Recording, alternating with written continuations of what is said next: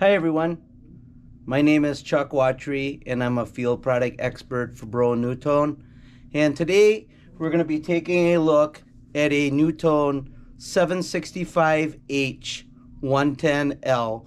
This unit is a heater fan light and I'm just going to take you through on how to replace the, the main assemblies, the fan assembly, the heater assembly, you know, and what to look for if this unit should fail and check. So let's get started. All right, the first thing we want to do before we get up into this unit is to turn off the main power. Um, turn that circuit breaker off anytime you go up inside to change the heater, the motor assembly. Um, just want to make sure that there's no power coming up to this unit. For filming purposes, I have this heater fan light unit sitting on a, on a table. First thing I want to show you is how to take this light lens off of this unit. What you can do is take a regular screwdriver and you can just put that screwdriver between the lens and the grill and just pry down on it. That lens will pop right off of there. Next to get into the unit, there's an acorn nut. Um, if you have a light bulb in there, you'd undo the light bulb. And above that light bulb is this acorn nut. And you would basically just unscrew that acorn nut.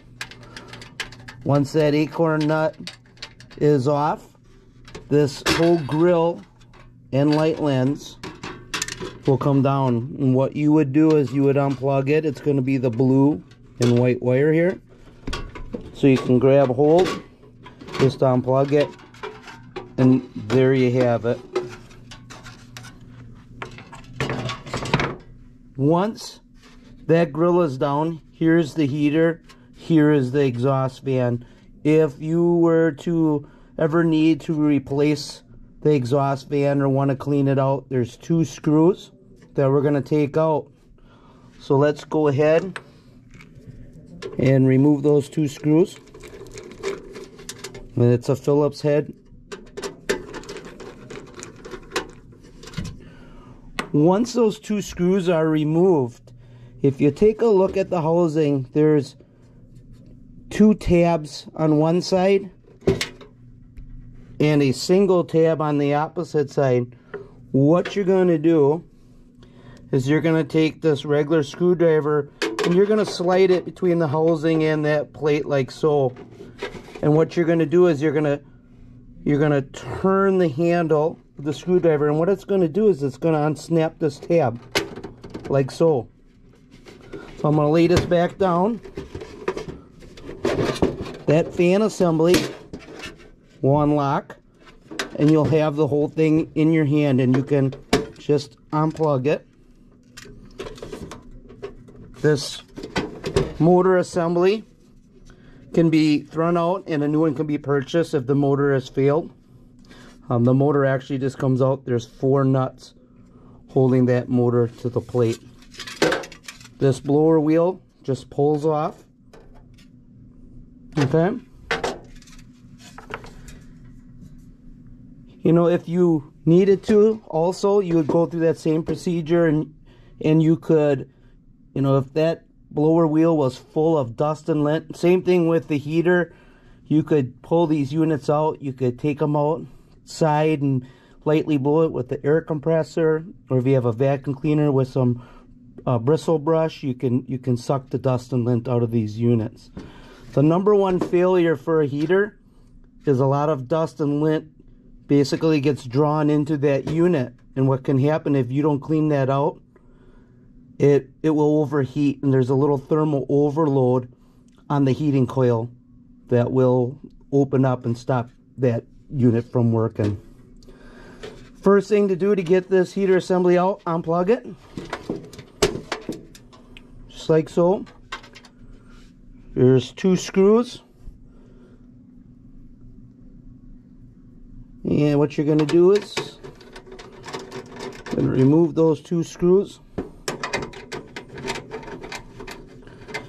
Once those screws are out, you got to be careful because this can come down if it's mounted up in the ceiling. What you're going to do is you're going to remove that heater assembly. There are hooks, and those two hooks hook into the, the housing there. Um, then you'd actually have the whole heater assembly in your hands.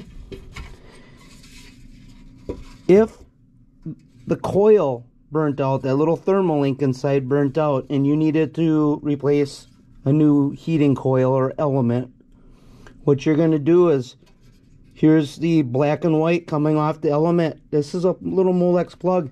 What you would do is unplug it. You would turn this unit around. Here's the other side of the heating coil. So what you're going to do take a quarter inch nut driver or a regular screwdriver. And you're going to take those two screws out along with this plate. It'll lift right off of there. So it's just on there just like that. You're going to turn this unit around And you're going to do the same thing to the opposite side. You're just going to take the quarter inch screws out.